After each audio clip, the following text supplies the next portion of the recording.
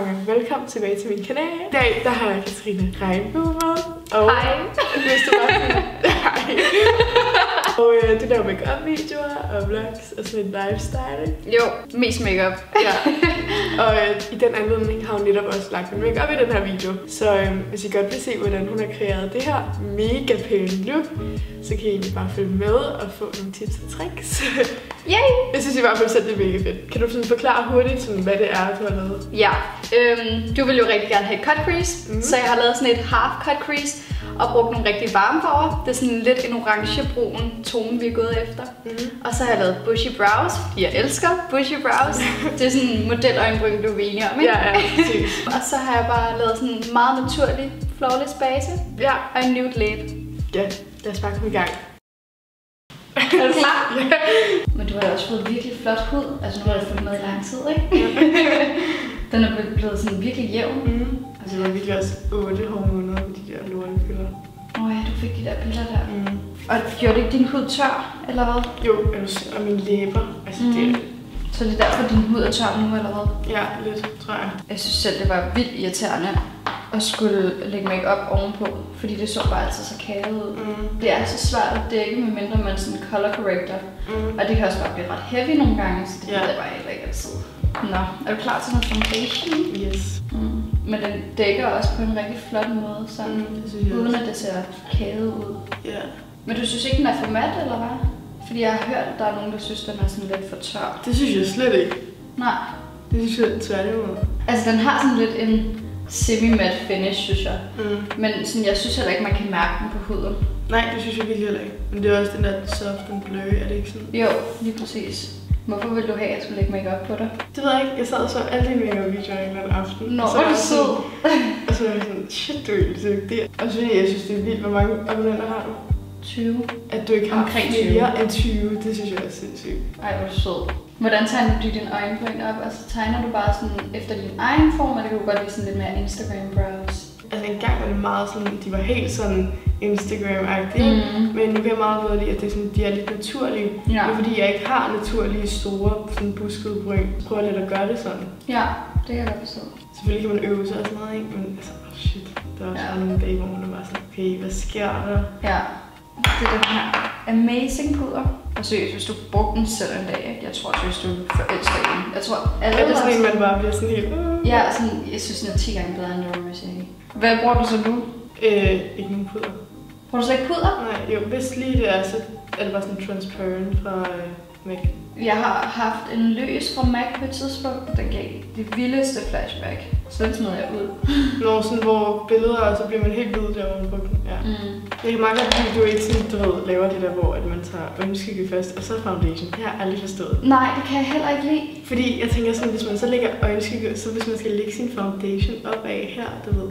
Jamen, jeg synes også bare, sådan, det er svært at lægge en pæn øjenskygge, hvis basen ikke også er pæn først. Nu plejer jeg bare at gå videre til grøn, faktisk. Ja. Jeg tager altid brow gel på før. Mm, At jeg det gør jeg også dem en op. gang, faktisk. Ja, men ja, det, jeg har også gjort det sådan lidt i perioder. Nu elsker jeg det bare igen, fordi at jeg er ikke så meget for at tegne øjenbrynene for meget op. Jeg kan Mhm. mere lide sådan at tegne små hår. Kan du godt lide dine øjenbryn sådan meget buskede, eller vil du bare gerne have, at de ser sådan lidt mere brede ud? Mm, jeg kan lide dem sådan lidt busket. Klipper du nogensinde dine bryn? Overhovedet ikke. Sådan lidt out of control. Ja. jeg kan faktisk ikke særlig meget ved dem.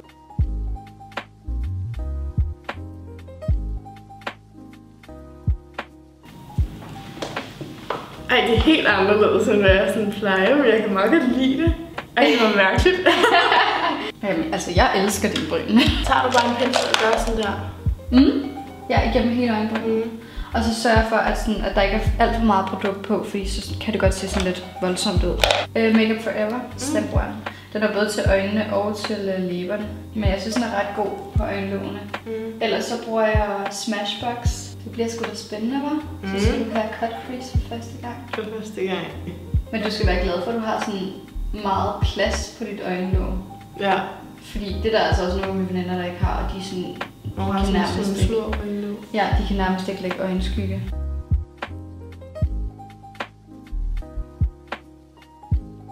Jeg kan virkelig lide de her farver på dig. Hvad er dit yndlingsbrand? Har du sådan et? Nej, Nej. det kan jeg overhovedet ikke vælge. Altså, jeg kan rigtig godt lide Benefit, Anastasia, Makeup Forever, Mm. uh, Urban Decay, of course. Mm. Så kan jeg faktisk også rigtig godt lide Sephoras eget mærke. Mm. Fuld koncentration. Og nu skal jeg så lægge med concealer. Hvis du ikke er vant til sådan en vilde look, så kommer du til at få et chok, tror jeg. Den her farve, ikke? Oh my god, jeg dør.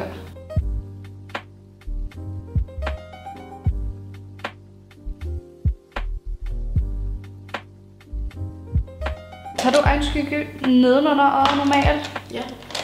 Skide godt. Fordi jeg har rigtig mange veninder, der ikke gør det, og så når jeg så gør det, så er de sådan skræmte. Så er de sådan, ej, hvor er jeg grim. Uh, Og jeg var sådan, nej, du er meget pænere. mm. Og jeg elsker at lægge øjenskygge nedenunder øjet. Ja, fordi så føler man, jeg føler, det hænger sammen. Ja, men det fuldender lukket, altså. Mm. Mm.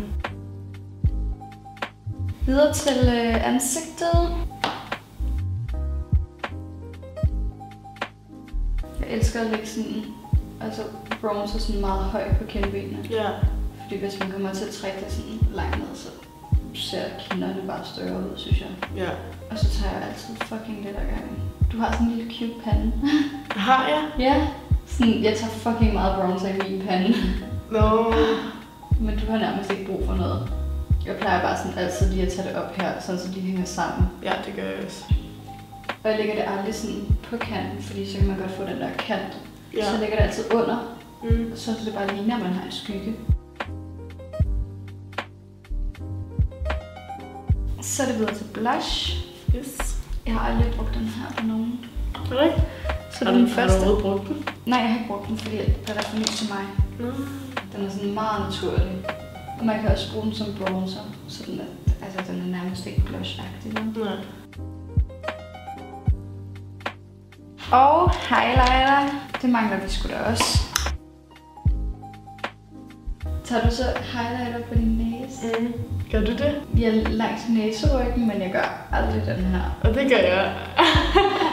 Nå, øhm, nu mangler du kun læberne faktisk. Ja. Og jeg har taget det her med ud, fordi nu... Altså, jeg elsker lipgloss. Og de her, de er alle sammen nude. Jeg kan lige prøve swatchen, så jeg Ja. kan lige vælge. Jeg tænker, du vil gå bedst til det her. Så gad jeg godt prøve den der. Jeg liner bare lige lidt læber først. Får du aldrig noget på læberne? Mm. Heller ikke lipgloss engang imellem? Jo. Men der gør jeg ikke noget. Nej. Og jeg bruger heller ikke liner så tit faktisk. Den her, den er altså også virkelig lækker på læberne. Har du prøvet den før? Ej, det kan godt være. Nej. Den føles lidt sådan silikoneagtig faktisk. Ej, så er der lys i. Ja. Så. Jeg elsker spray. Ej, hvor er du pæn. Ja, jeg elsker det også. Er det ikke en flot farve? Jo, det er det faktisk. Det er sådan rigtig... Ej, ej, det er. Også fordi det er sådan helt herude. Og så Mhm. sådan bronzy. Ej, jeg kan vildt godt lide det. Ja, jeg kan virkelig også godt lide det. Jeg følte første gang, at der var nogen, der lavede make på mig, hvor det faktisk er passet til mit, sådan, mit ansigt. Mm. Ej, jeg hvis bare jeg skulle noget nu. Ja, det er det, jeg mener. Du skulle da i byen eller et eller andet. Så det var i hvert fald alt for den her video. Jeg håber, I fik noget inspiration, og øh, måske selv vil kreere den her, det her look til en fest eller noget. Jeg synes i hvert fald selv, det blevet mega pænt. Det er jeg glad for. Og så øh, Katrines YouTube-kanal være linket ned i beskrivelsen, og øh, alle produkterne. Selvfølgelig.